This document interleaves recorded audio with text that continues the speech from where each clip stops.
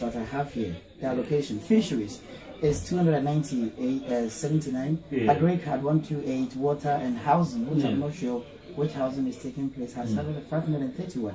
Surprisingly, transport had 89.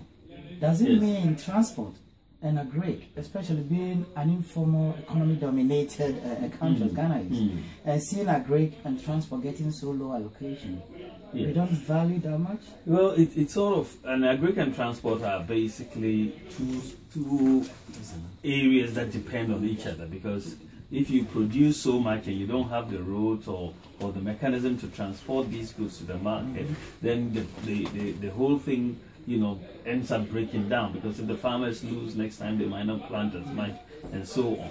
But one thing about the allocations that you have just mentioned is that if you add all of them together, the interest on our debt is more than all of these allocations to all the ministries that you have mentioned. Just the interest on the debt alone is more than all the five ministries that you have mentioned. And so this is why I say it is reckless. Because you could have doubled, tripled mm-hmm. the spending on these key areas if you had not gone out on that reckless Yeah, borrowing spree.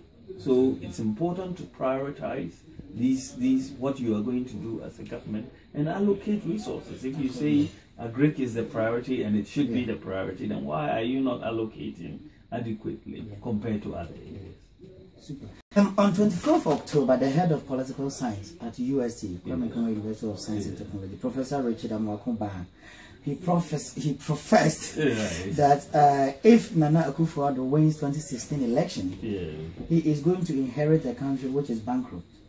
So, you've been a partner with Nana, how you going to deal with the bankruptcy if Ghana actually succeeds in getting into The, the problem bankrupt we have in this country is that the NDC government, by their governance, always ends up putting this country in bankruptcy. They mismanaged the economy. We saw what happened. We, they took us to HIPC by the time we came into power in 2000. HIPC economy, low income HIPC economy. This is what President Kufuor found uh, after he won power in 2000 uh, and came into government.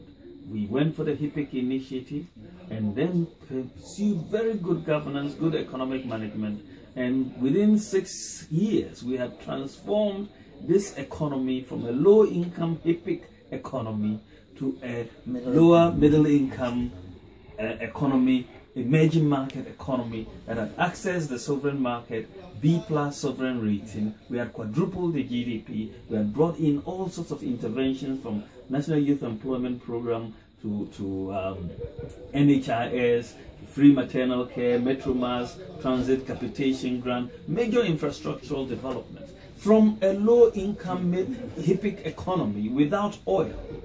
Now, these people have had oil, have had major uh, increases in debt, major tax revenues, increases in cocoa and gold prices, and they have collapsed everything.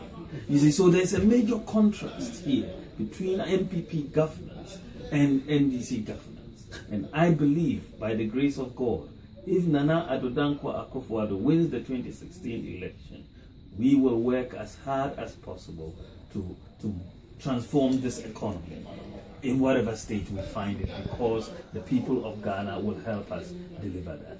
Thank you very So what's much. your last word for our listeners I, I, I, I thank them very much. I tell them that Nana Addo Dankwa Akufo-Addo has a, a vision for Ghana, a vision for the transformation of this economy, a vision of good governance, a good vision and a practice of incorruptibility. And they should all support the NPP, support Nana Addo Dankwa Akufo-Addo to win 2012, tw- tw- the 2016 election for the sake of our children. So everybody should get involved in whatever way possible and support Nana Akufo-Addo to save this country from the mismanagement of the NDC. Thank you very much, Alex, Dr. Bawumia. good.